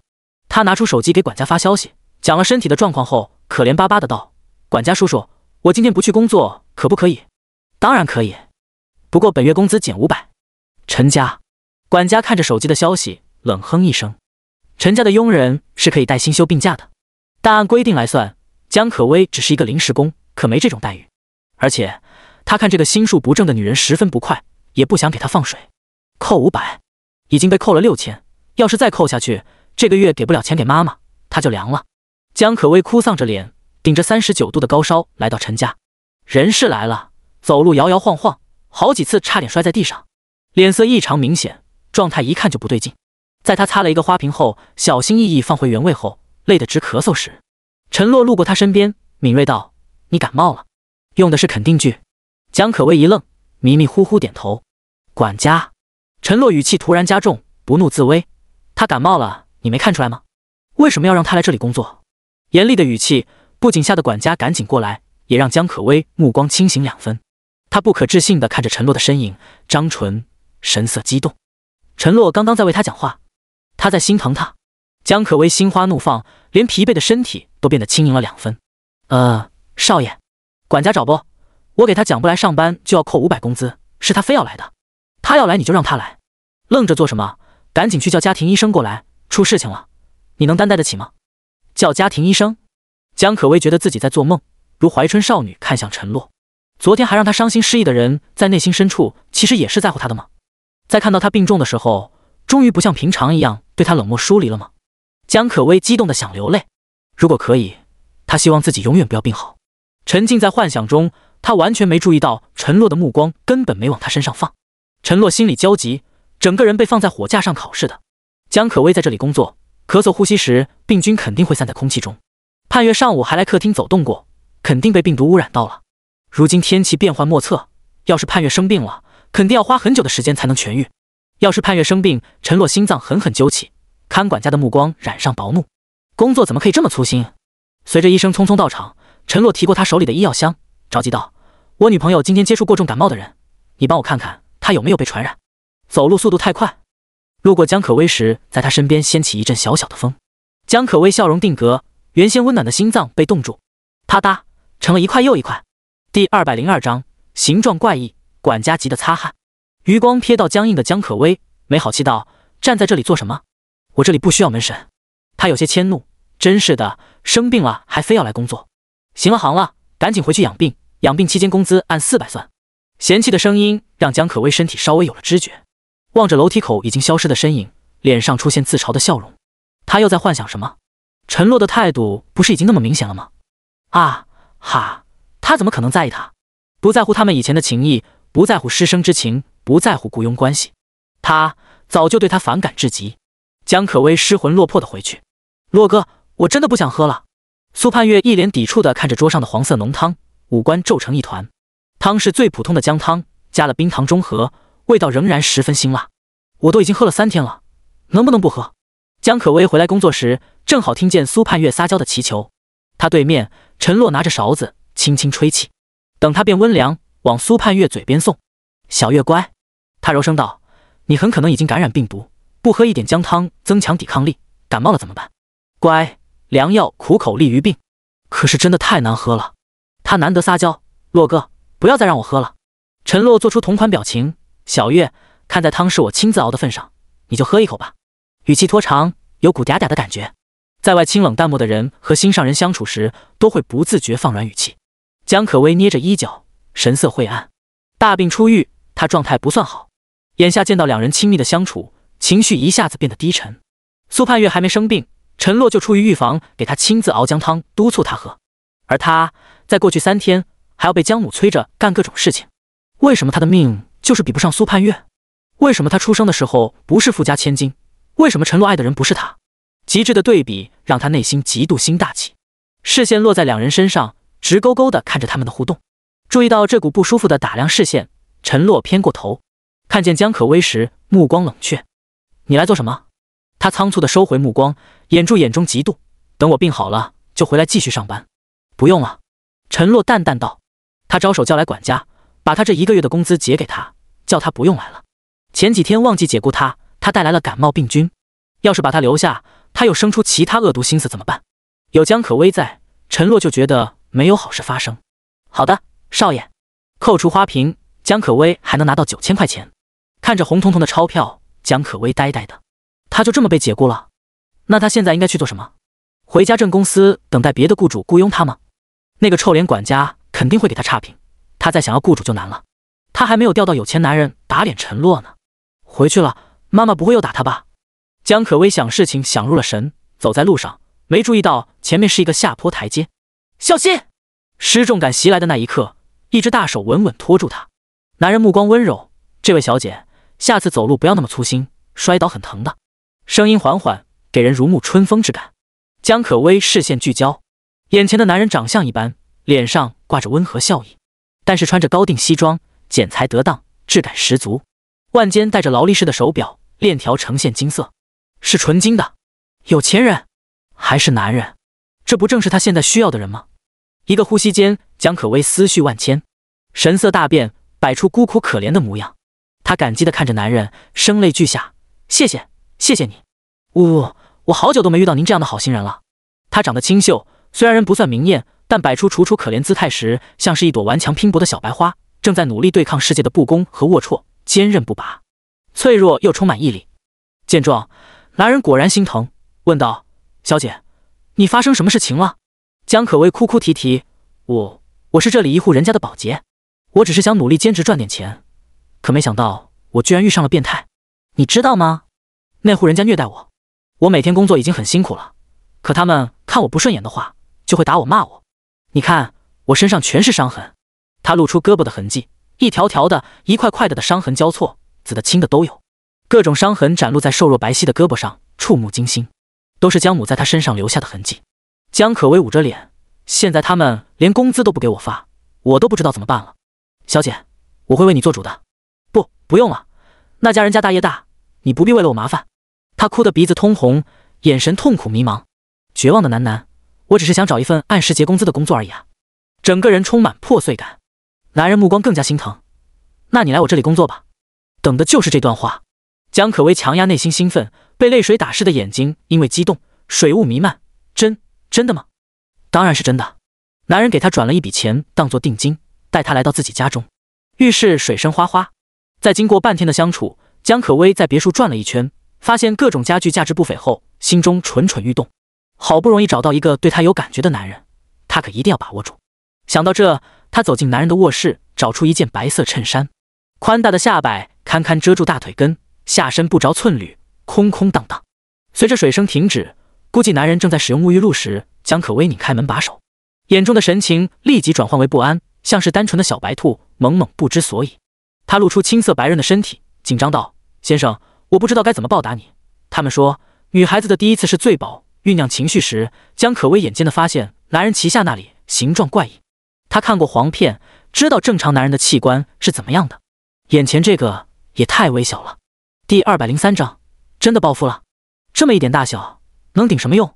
江可薇咽了一口唾沫，动作踌躇，脑海中不禁回想起曾经在游泳馆见到的陈洛。人和人的差别怎么能这么大呢？我帮你只是出于不忍心，没有别的所图。男人扯过旁边的浴巾，挡住下半身。你没必要付出这么多。江可薇回过神来，望着男人的脸。动作陷入僵硬，现在要怎么做？那么小的玩意儿，等等，他有钱啊！想到这关键的一点，什么长得小、不够帅，种种缺点全部被江可薇抛在脑后。他深深吸了一口气，嘴角微微翘起，是他练习过许多次的笑容，青涩、单纯，又有一股不自知的魅意，于无形中勾人。他弱弱道：“可是我想报答你，而且我发现我喜欢上你了。”江可薇紧张地贴近男人的身体，气息喷洒在他身上，惹得男人全身发痒。他羞答答地开口：“给我一个机会好不好？”紧张的神情像一个不谙世事还想引诱男人的小白兔。男人一把把她搂入怀中，眼里闪过暗喜。好，江可薇开始和男人厮混在一起。男人对她体贴，带着她坐豪车住豪宅，平日里出入各种高档场合，随手送的一件礼物价值起码五位数，各种事情都非常符合他的幻想。他再也不需要辛辛苦苦干活受气，手里宽裕起来，甚至能在外面逞逞阔气，日子别提有多舒畅。没过几天，到了八月底，别墅在和男人几乎没实感的温存一番后，江可薇在里面漫步，在爱情和金钱双重滋润下，她现在状态焕然一新。曾经常常出现的扭捏眼神消失许久，取之而代的是高高在上的不屑。要是早遇到李哥就好了，他感叹一声：“哼，陈洛，你这个狗眼看人低的家伙。”就算不靠你，老娘就得不到那自己想要的东西了吗？不自觉间，他走进一个房间，房间装修十分大气，摆着许多少女喜欢的玩偶和摆件。江可薇的目光被旁边的衣柜所吸引，尽是大牌的衣物，件件奢华，设计感满满。从长裙、短袖到半身裙、皮衣，各种款式的衣服应有尽有。江可薇眼睛一亮，这肯定是李哥给她准备的吧？她扒拉着衣柜的衣柜，在里面仔细翻找。马上就要开学了。我可要好好选一下穿什么衣服。学校里的人不是看不起他吗？他开学一定要好好打扮，让那些看不上他的人睁大眼好好看看。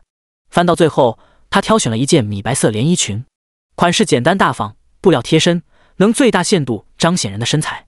返校日，江可薇化着全妆，明艳精致，白色短裙包裹着凹凸有致的身材，姣好完美。裸露的皮肤白到发光，尤其是小短裙，只到了大腿根一点，两条细长腿十分晃眼。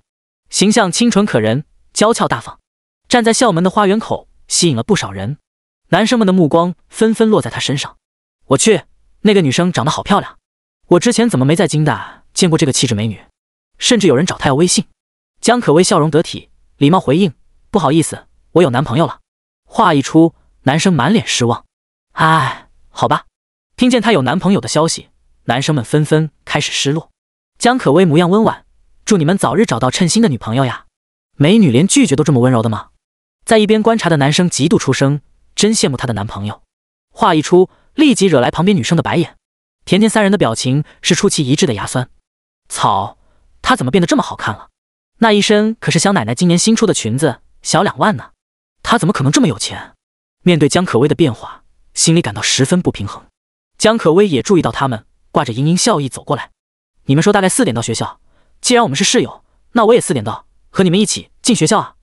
甜甜磨牙，呵呵，分明是想在校门口多逗留一会出风头吧，顺便叫他们羡慕他吧。现在还有男人眼巴巴望着他呢。江可薇十分享受他们的目光，就是要这种嫉妒表情。人群中突然出现一阵小小的惊呼声，顺着目光看过去，只见一辆浅蓝色保时捷减速驶入金大校内的车道，车窗大开，驾驶位上的两人十分明显。苏盼月今日穿了一件浅粉色短袖，款式较为普通，但颜色清新，粉粉嫩嫩，衬得人肌肤如雪，容颜如画。短短出现十几秒，先前还停留在江可薇身上的目光纷纷转开。在颜值上，苏盼月简直是吊打，不需要多华丽，光是出场就能让人移不开眼。江可薇满意的笑容出现裂痕，哼，这些没品位的男人。他吃瘪，甜甜三人心里就乐呵了，连带着说话都夹枪带棒。江可薇，你穿的这件衣服是真品吗？别是买了赝品来糊弄人？赝品？江可薇冷哼一口气，她的有钱男朋友怎么可能买赝品？她神色不屑，你们不知道看质量吗？它的质感怎么可能是假的？身上的衣服十分精致，光是外形确实不像假的，那就是你花钱租的。江可薇轻笑一声，美眸流转，闪过几分轻蔑。她撩起裙子一角，那你们可要认真看看了，我的这条裙子被我改短过，还有针线的痕迹呢。要是我租的，我敢改吗？想到男朋友很有钱，江可薇现在就自信十足，说话都很有中气。三人凑过来，见到不一样的针脚痕迹印证他的话，表情开始不爽。难不成他真的突然暴富了？怎么偏偏是这个虚伪浮夸的女人暴富了？江可薇最为欣赏他们这副看不惯他又无可奈何的表情，她娇笑出声：“哎，实话告诉你们吧，这是我男朋友送给我的。我男朋友年纪轻轻就已经是上市集团的老总，身家几百亿，住的是锦香别墅区，开的是百万起步的豪车，你们懂吗？”第二百零四章眼熟。如果是之前的江可薇说这些话，三人只会觉得他在吹牛，可现在他神态都变了。先前的阴暗一扫而空，取之而代的是活跃和明媚，和那个扯谎骗他们的局促模样大相径庭。你们不懂也没关系，我没遇见他之前也同你们一般。不过你们可就没我幸运了。切，甜甜实在看不过眼，阴阳怪气，你可别又像之前一样故意骗我们，嘴里说着是你男朋友家的别墅，结果真的到了现场还能发现别人的婚纱照。那我就带你们去看看我男朋友的家。江可薇双臂环胸，倨傲道：“也让我带你们见见世面。”好不容易找到一个有钱的男朋友，不让他们见见，不就白谈了？锦香别墅十六号，江可薇带着江信、江怡的三个室友来临。亲爱的，我回来了。她语气轻快，走进别墅，一把抱住男人。你有没有想我？想，当然想。男人轻笑着把她拥入怀。客厅装修精致奢华，有股古朴韵味在其中。落地窗前是一个木质小桌子，上面摆着青花瓷茶壶以及一杯热茶。热气氤氲，茶香清雅，让人一见便觉得他是有品位的人。虽然男人长相一般，但是气势淡定，像是经历过许多大风大浪、不惧小风雨的大人物。江可微嘟唇，这些都是我的室友，他们不相信我谈了你这么优秀的男朋友，你不会生气吧？怎么会呢？你可是我的宝贝。男人温柔地说着话，只是在江可微看不见的时候，眼底划过紧张。怎么带了这么多人来？西西，亲爱的，你最好了。嗯嗯，老公，我室友们都来了，不如今晚招待他们在这里吃饭吧，给他们吃吃贵点的东西，见识一下。啊！男人愣了愣，行吧，吃饭。这一回，甜甜三人内心生出几分期待。别墅这么大，看起来这么豪华，会请他们吃一顿怎么的饭呢？清蒸大闸蟹，澳洲大龙虾，鱼子酱。江可薇也很期待，等他点一顿奢侈的外卖回来，看他们还有什么话说。男人撸起袖子。转身进入厨房，行，今天我就好好招待一下你们。看动作，竟然是要亲自做饭。哇！甜甜三人艳羡。可薇，你男朋友这样的大人物，居然会亲自做饭吗？那味道是不是也很不错？人家这种大人物用的食材再差，也不会差到哪里去。食材一好，味道肯定也好。江可薇被夸得飘飘然，这还是她男朋友第一次做饭，也不知道味道怎么样。随着一盆饭菜被端上桌，几人心中的期待一下子清空。只见桌上白色瓷盆装着一盆汤，汤上漂浮着一层白菜，菜被煮过头，显得软烂黏腻，汤汁呈现透明色，连点油都看不见，是清水煮白菜。现在的年代，除去减肥，根本不会有人这么做饭。江可薇脸色爆红，恼怒地看向男人：“亲爱的，你怎么做这种菜？”他走过去，压低声音说话：“可家里没菜了。”男人神色不太自在地转过头：“没菜了，可以点外卖啊。”江可薇咬牙。但又不敢说出来，他不敢让他觉得他是为了他的钱来的。可这种清水煮白菜给谁吃呢？甜甜三人对视一眼，有种莫名的熟悉感。不会又像之前一样吧？原先面对江可薇的羡慕目光，变回审视，隐隐有几分讥讽。江可薇脸颊火辣辣的疼，她抢笑：“算了，估计你们也没胃口。亲爱的，我带他们去楼上的房间玩玩吧。”行，你去。可薇啊，你这个男朋友是不是有点太抠了？是啊。清水煮白菜，我家都没这么抠。一声声的听得江可薇心里十分不自在。开始找不？他家里以前穷，节俭惯了。你们不要想多了，节俭惯了。分明已经是抠门的程度。要是真的家财万贯，怎么会在饮食上这么抠搜？三人心里小九九直冒。直到进入二楼衣帽间，心思才转移开。满柜子的衣服、衬衫、短袖、连衣裙、半身裙，种类繁多，并且每一件的设计都很别致、精致又漂亮。我记得这件是云朵之前的夏季新系列。我的妈呀，好漂亮，好好看！可薇，我可不可以试试？当然可以。几人在衣柜里翻来覆去，原先整洁有序的衣服逐渐变得凌乱，颇有当初践踏玫瑰花园的气势。他们试着衣柜的裙子和鞋，各种搭配，开始评头论足。这条杏色衬衫好好看，搭配小皮裙肯定很亮眼。这条天蓝色连衣裙也不错，仙气飘飘的。听着他们的羡慕，江可薇胸膛一挺，眼尾划过两分高傲。突的，有人冒出一声：“咦，这个裙子怎么这么眼熟？眼熟？什么眼熟？是有一点，我记得苏盼月之前也穿过这条烟灰色短裙。可薇，你怎么和她买一样的衣服？你居然敢和她撞衫，真是不怕尴尬。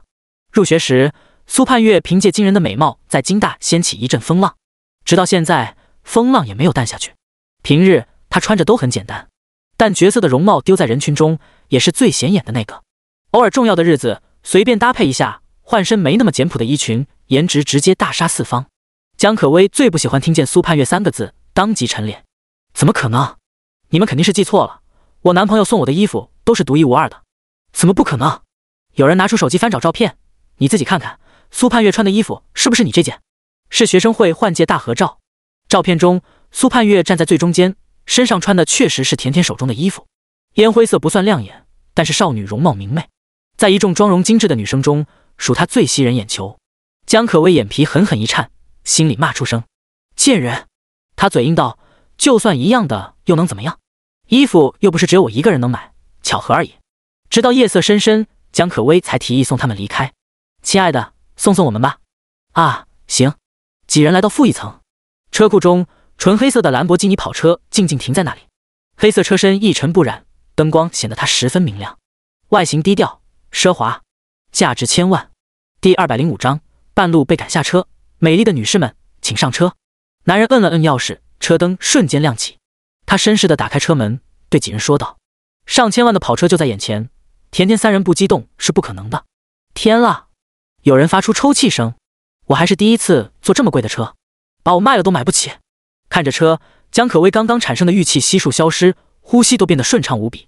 那你们可得谢谢一下我男朋友，没有他。我们也做不了。男人拉开副驾驶的门，笑意柔柔：“上吧，我的公主。”温情款款。明明自己开着上千万的车，富贵无比，对他还这么体贴。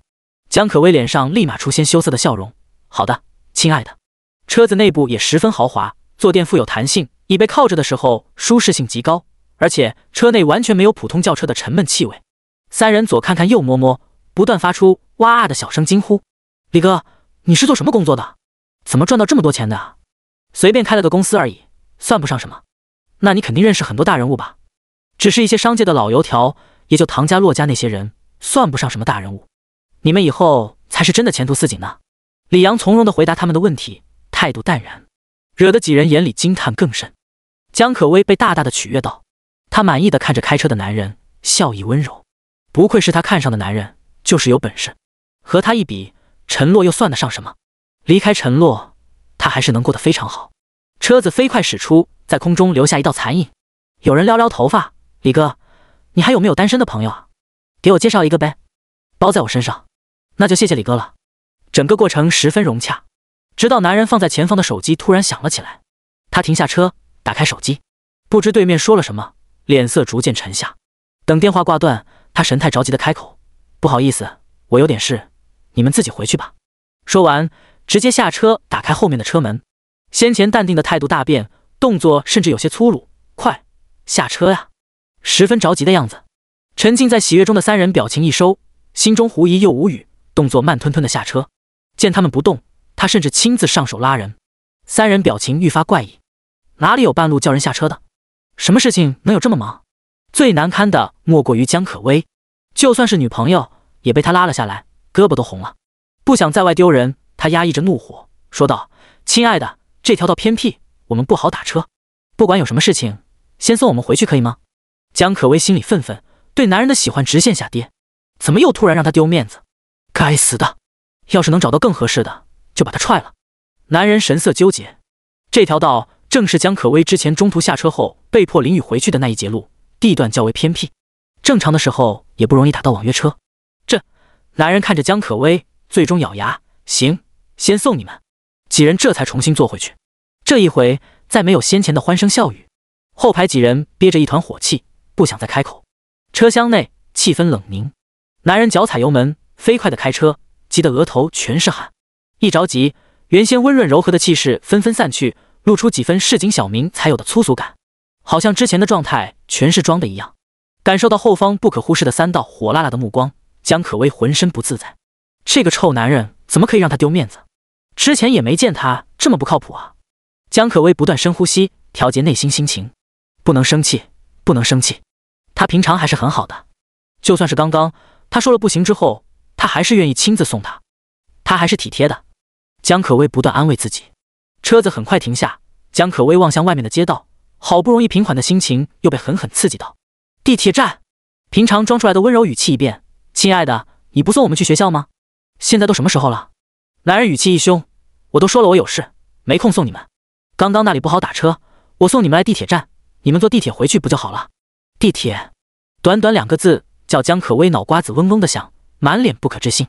他居然让他带室友们坐地铁回去，这种丢脸的事情，他居然让他做。这都十点多了，他还想再说些什么？男人语气更加不耐，所以你们现在下去还能坐上最后一趟，赶紧，我真的有事。江可薇被说的一愣，被吼出泪光。四人下车，迎着三道打量目光。江可薇把心中那股情绪强压回去，明明心里不好过，还是露出标志性的笑容。他突然有事，不能送我们回去，不好意思啊。突然有事，江可薇，就算有事情，不能给我们打车吗？刚刚的路段不好打车，地铁口总是容易打车的啊。有人阴阳怪气，就是突然有事就摆出一张凶脸，把我都吓到了。你这个男朋友到底靠不靠谱？江可薇不自在的避开他们狐疑的目光。我不是说了吗？我男朋友节省惯了。所以下意识送我们来地铁站而已。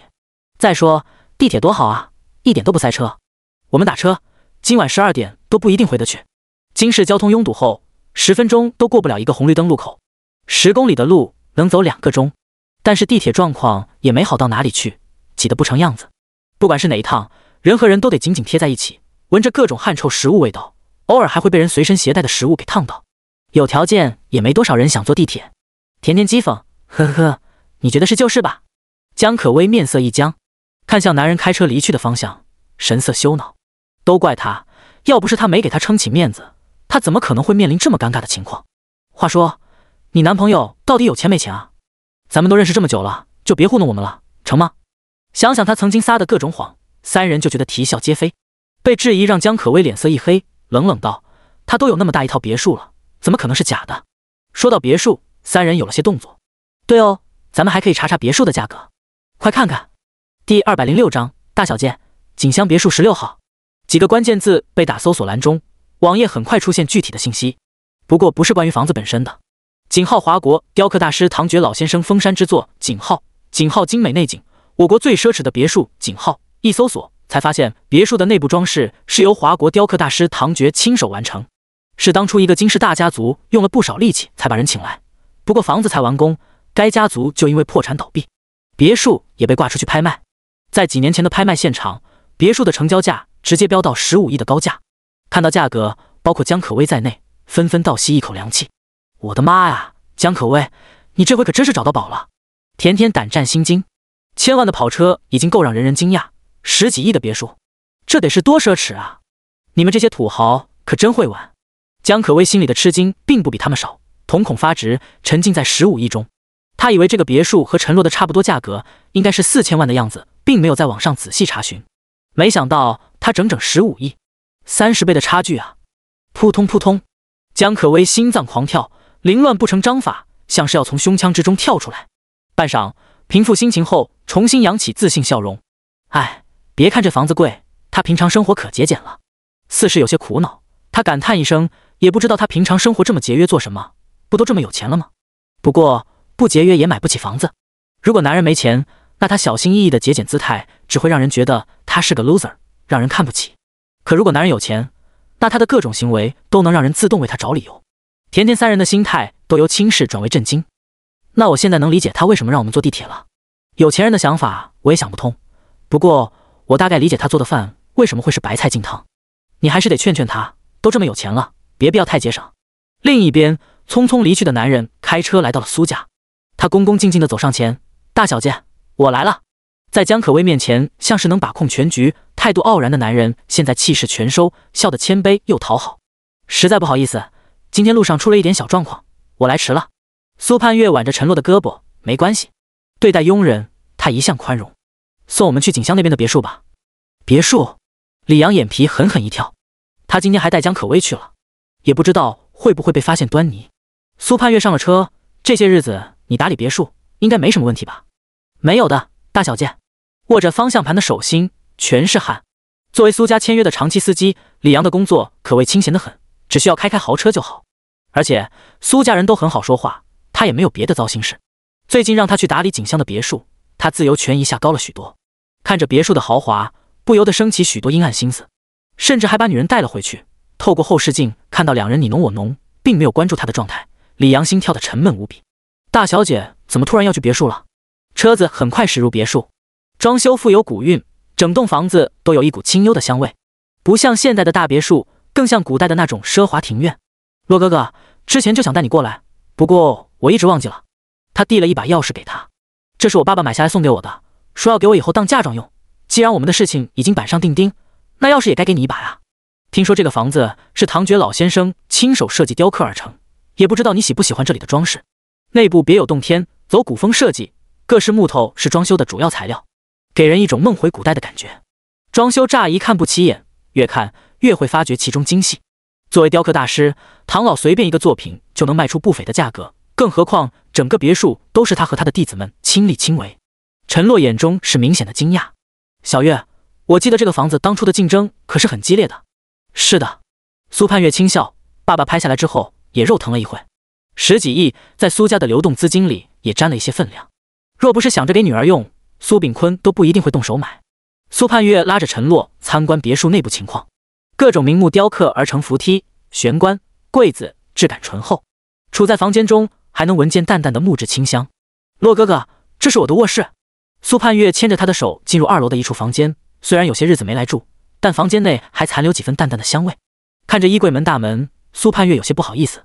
爸爸让人给我订了好多衣服，但那些漂亮的衣服往往太繁琐，我平常都不怎么穿。放在这里都积灰了，衣柜满满当当，各式款式、品牌都有。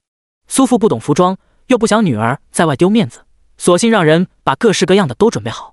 满柜子都是符合她尺码的衣服，只要她想，能搭配出各种风格。你们女孩子就是要多点衣服才好。陈洛揉揉她的头，等我们结婚，你的东西只会更多。希望他准备的衣帽间足够大。看着老丈人准备嫁妆的大手笔，陈洛都有些自愧，怎么显得？他像是来吃软饭的。苏盼月看了看衣服，感叹：“不过好久没整理了，各种类型和颜色的放置不够有规律。”洛哥哥，和我一起整理一下吧。好。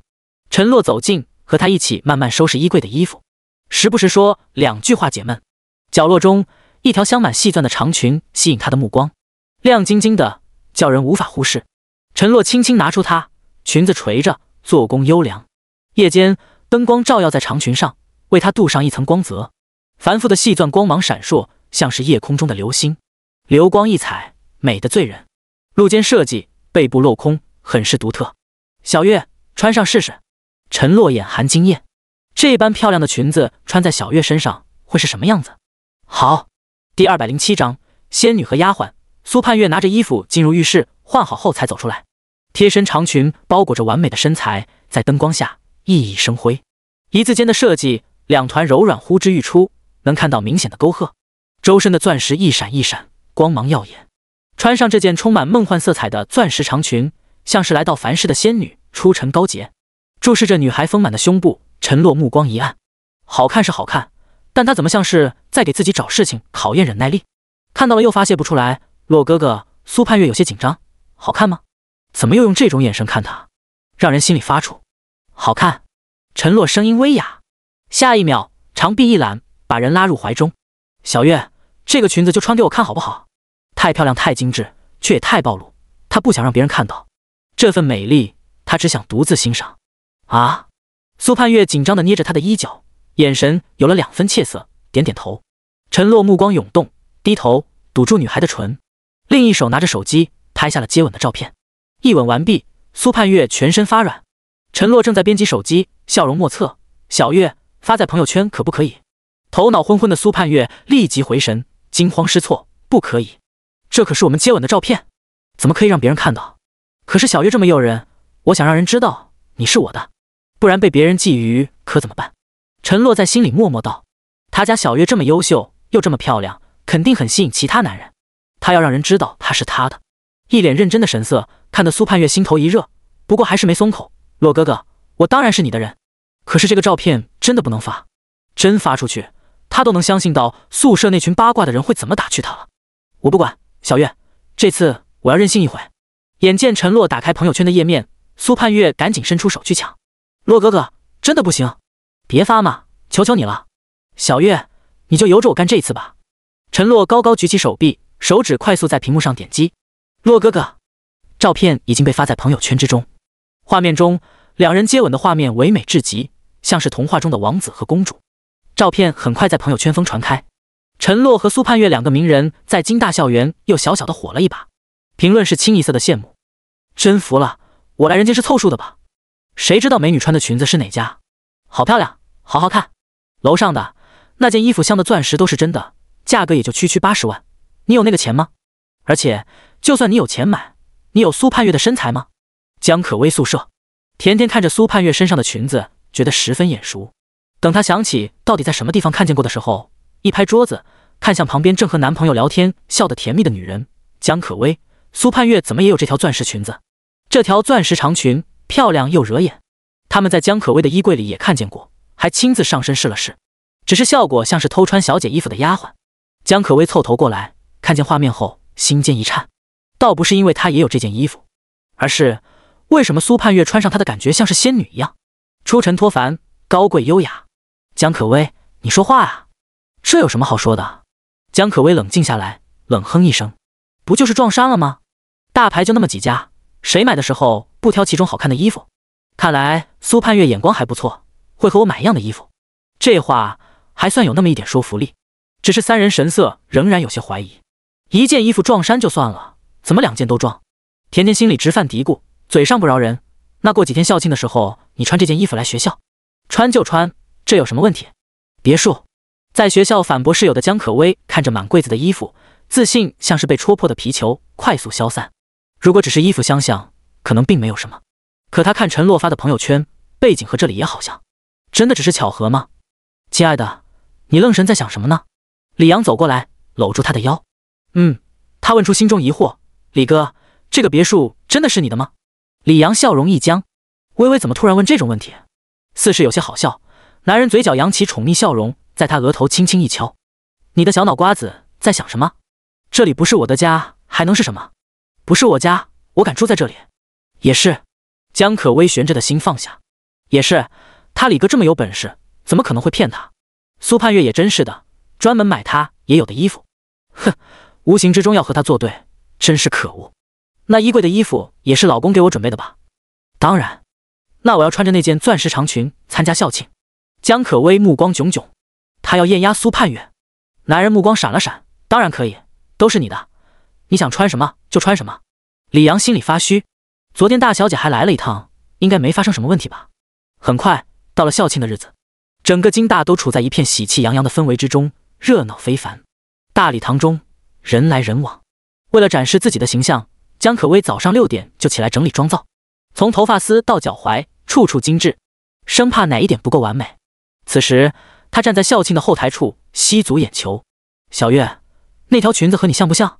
路口，陈洛看着江可薇，轻轻凝眉，顺着目光看过去，苏盼月也注意到花枝招展的江可薇，她点点头，是啊，还挺凑巧，居然买了同一条裙子。她偷偷用余光扫视陈洛，心里冒着小九九。洛哥哥会不会觉得江可薇穿起来比他好看？陈洛一眼看穿他想法，轻笑：“小月又在胡思乱想什么？心思被抓包。”苏盼月坐直身体，假装正经：“没什么。”江可薇站了一会，立即有男人走到她身边。男人脸上的笑容殷勤，美女，你穿这衣服可真好看，特别漂亮，是吗？江可薇摸摸脸，谦虚道：“也就一般吧。”哪里，美女可真是谦虚。美女周末有没有出去玩？第二百零八章，衣服坏了。切，这人真是没眼光。有女生听见两人的谈话，翻了个白眼。就是要说好看，谁有苏盼月穿这条裙子的时候好看？